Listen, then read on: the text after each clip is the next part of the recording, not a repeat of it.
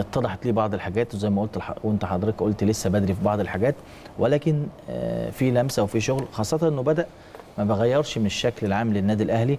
يمكن الناس حتى كلها قال لك ده نفس الأداء اللي كان بيعمله الكابتن حسام البدري قبل ما يمشي. يعني ما هو لازم يكمل بنفس الأسلوب لكن برضه مش ابتدى هتقدر تهد المعبد من أيوة. أوله لآخره. يعني هو في في بعض الفترات كان ممكن يبقى لعب بطريقة مختلفة شوية. في بعض الأوقات المباريات بيلعب 4 4 2 بشكل أو بآخر بالظبط. 4 1 4 1 لكن الطريقة الأساسية 4 2 3 1 اللي هو يعني ما اجيش أنا وده يحسب له. ويحسب له طبعا, يعني هو الراجل عايز وقت كمان إنه يشوف آه، الطريقة المناسبة واللعيبة المناسبة في التشكيل اللي يناسبه علشان يقدر يكمل بيها. لكن هو آه، زي ما بقول لك هو حاول. وحتى في بعض المباريات الودية حاول إنه يلعب ب 4 4 2 لا الشكل مش كويس فرجع تاني 4 2 3 1 ده طبيعي جدا. إن مدرب جديد جاي على نادي وهو عنده طموح وعنده ونادي جماهيري بيلعب تحت ضغوط كبيرة جدا مع احترامي طبعا ل طبعا. وادي دجلة اللي كان بيمرن فيه أو حتى طبعاً. يعني على مستوى الأفريقي آه، ل- لما كاس ما فاز بك- بكاس أفريقيا. لكن النادي الأهلي ليه وضع خاص وليه آه، ليه هيبة طبعا و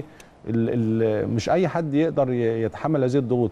وبالتالي آه، الراجل اللي عاجبني فيه هدوءه في الملعب. يعني فيه هدوء وفيه رزانة كده وبيدي تعليمات من بشكل هادي. آه، ممكن جدا في وقت من الأوقات آه، يلعب بطريقة مختلفة ما فيش شك. يعني ده ده لما ده يحس إن هو امتلك أوراقه كلها وشايفها لو امتلك الأوراق. كلها ممكن يلعب بطريقة 4 3 3 ممكن يلعب بيها ممكن لو عايز يلعب براسين حربة ممكن عنده الإمكانيات عنده لعيبة مميزة في, في, في المركز ده. يمكن سمعت التصريح إنه كمان محتاج بعض يعني صفقه أو اتنين في الانتقالات الشتوية عشان يكمل.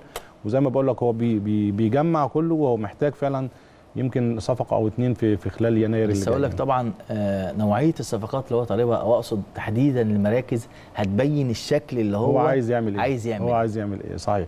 يمكن زي ما بقول لك هو لسه بيتحسس طرق بيتحسس يمكن الطريق شوية وده وده شيء طبيعي مع الكابتن محمد يوسف عارف آه، خفايا الدوري المصري وكان شغال في الدوري المصري بقاله. كتير جدا وكان آه، كسب بطولة أفريقيا مع النادي الأهلي فليه باع كمان في في النادي فأكيد إن شاء الله هو بيساعده في الحتة ديت إن العملية دي تبقى أسرع شوية ونشوف النادي الأهلي مستقر بتشكيلة مش مش هتقول تشكيلة ثابتة لكن عارفين بالظبط آه، ال- النادي الأهلي بيلعب بأنهي طريقة يعني. القوام آه بالظبط بالظبط